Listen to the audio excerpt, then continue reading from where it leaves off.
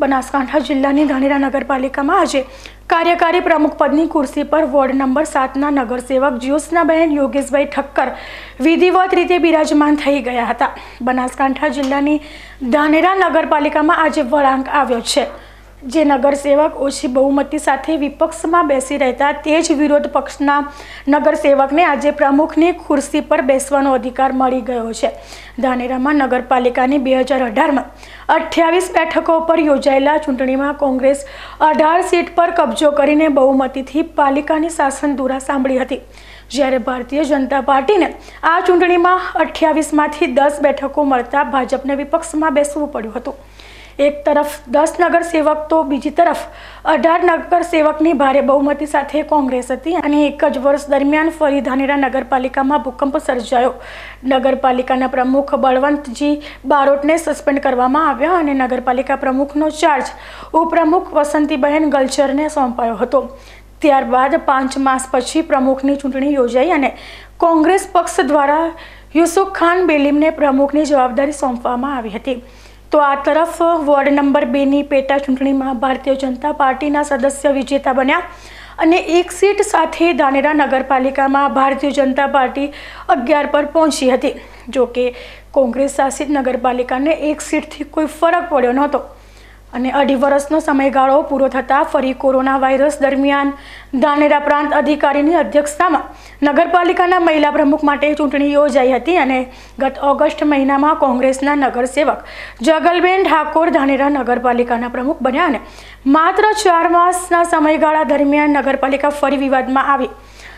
ધાનેરા નગરપાલિકા ભારતીય પાર્ટીના સદસ્યો દ્વારા નગરપાલિકા દ્વારા કરવામાં આવેલા વિકાસના કામોમાં ભ્રષ્ટાચાર કરવામાં આવ્યો હોવાની અરજી મુખ્યમંત્રીને કરવામાં આવતા ગુજરાત સરકારના મ્યુનિસિપાલિટી એડમિનિસ્ટ્રેશનના કમિશનર દ્વારા ત્રેવીસ ડિસેમ્બરના રોજ કોંગ્રેસના તમામ સભ્યોને પોતાના સભ્યપદેથી દૂર કરવાનો હુકમ કરતા સમગ્ર બનાસકાંઠા જિલ્લામાં આ ઘટનાને પગલે હડકંપ સર્જાયો હતો.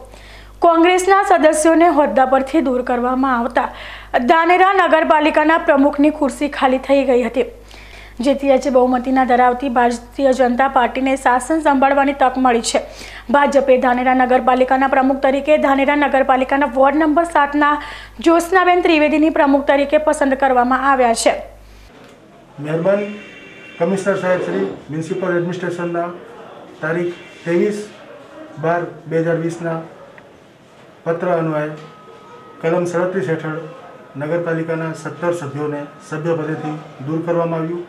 જેના અનુસંધાને મહેરબાન કલેક્ટર સાહેબે ગઈકાલે, એટલે કે અઠ્યાવીસ તારીખે, જ્યાં સુધી પ્રમુખની ચૂંટણી ન થાય, ત્યાં સુધી પ્રમુખ તરીકેના સત્તા અને ફરજો વાપરવા માટે કાર્યકારી પ્રમુખ તરીકે શ્રીમતી જ્યોત્સનાબેન યોગેશભાઈ ત્રિવેદીની પ્રમુખ તરીકે અધિકૃત કરેલા છે.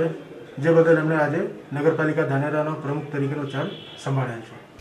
વોર્ડ નંબર સાતના ભારતીય જનતા પાર્ટીના સદસ્ય જ્યોત્સનાબેન ત્રિવેદીએ આજે જિલ્લા કલેક્ટરના આદેશ અનુસાર ધાનેરા નગરપાલિકાના પ્રમુખ પદ માટેનો ચાર્જ સંભાળ્યો છે. ધાનેરાના શહેરીજનોએ પણ મહિલા પ્રમુખને શુભેચ્છાઓ આપવા માટે આવી પહોંચ્યા હતા. ધાનેરાના રાજકીય આગેવાન તેમજ સેવાભાવી સંસ્થાના વડા સહિત મહિલાઓ મોટા પ્રમાણમાં આવી પહોંચી હતી. ધાનેરા નગરપાલિકાના પ્રમુખે પણ જ્યાં સુધી નગરપાલિકા પ્રમુખની જવાબદારી છે, ત્યાં સુધી ધાનેરા શહેરીજનો માટે સેવાનો અવસર મળ્યો છે. તેને નિષ્ઠાપૂર્વક નિભાવવાની બાંયધરી આપી સૌનો આભાર વ્યક્ત કર્યો હતો. નમસ્કાર. બધાને મારા નમસ્કાર. આજરોજ નગરપાલિકા કલેક્ટરશ્રી તરફથી મારી ધાનેરા નગરપાલિકામાં નિમણૂક થવા બદલ હું ખૂબ ખૂબ એમનો આભાર માનું છું.